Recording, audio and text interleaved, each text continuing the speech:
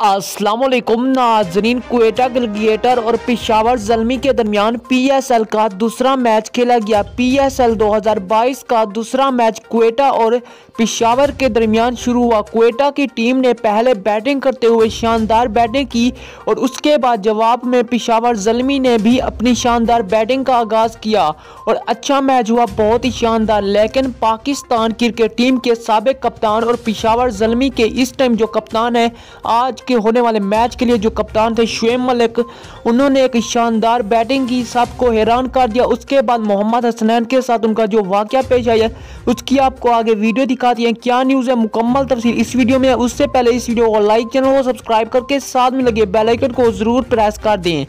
नाजरीन, क्या आप शुएब मलिक की बैटिंग से खुश हुए हैं या नहीं? वीडियो को लाइक ज़रूर कर लें। मोहम्मद हसनैन का कुछ दिनों पहले एक इशू बना था बॉलिंग एक्शन का।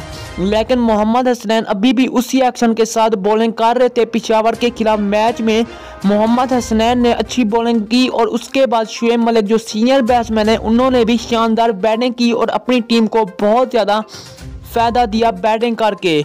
नाजरीन कोयटा के खिलाफ पिशावर जलमी की टीम के कप्तान जो हैं, वो हैं वहाब रियाज, लेकिन वो नहीं खेल रहे, लेकिन शुएब मलिक खेल रहे थे और शुएब मलिक ने अपनी कप्तानी में एक मरतबा फिर से बता दिया है कि मैं एक अच्छा कप्तान हूँ। शुएब मलिक ने बहुत ही शानदार चाटें खेली और उसके बाद मोहम्मद हसनैन को भी उन्होंने छक्के लगाए हैं। मोहम्मद हसनैन और शुएब मलिक का अच्छा मुकाबला देखने को मिला बॉलिंग में और उसके बाद सरफराज अहमद भी देख रहे थे शुएब मलिक की बैटिंग और इसी तरह मैच चलता रहा और बहुत ही मतलब दिलचस्प मैच खेला गया। क्या आपको अभी भी लगता है शुएब मलिक को P T twenty World Cup 2022 में खिलाना चाहिए या नहीं? कमेंट बॉक्स में ज़रूर बता दें। शुएब मलिक इंशाल्लाह ऐसे ही खेलते रहेंगे। वीडियो अच्छी लगी हो तो लाइक चैनल को सब्सक्राइब करें तब तक के लिए अल्लाह हाफिज़।